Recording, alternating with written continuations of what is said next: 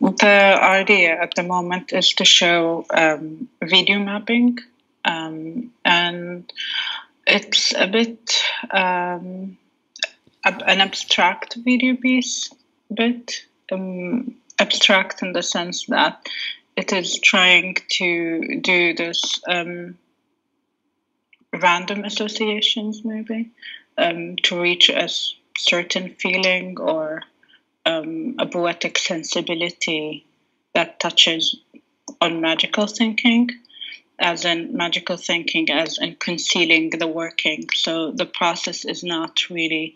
Um, um like is not really visible.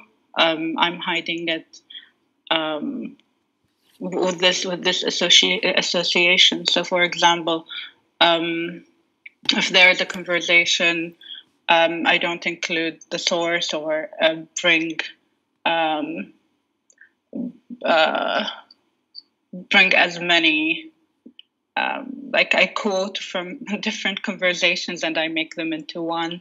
Mm-hmm. Um, if I'm working with, uh, I've been working with my family uh, to make work. For example, I'm I'm um, I turned my siblings into a think tank in the house, um, and they're giving me the most amazing ideas. And I think I think there's something um, almost cinematic that I want to reach, but also a fictional, um, but also very simple.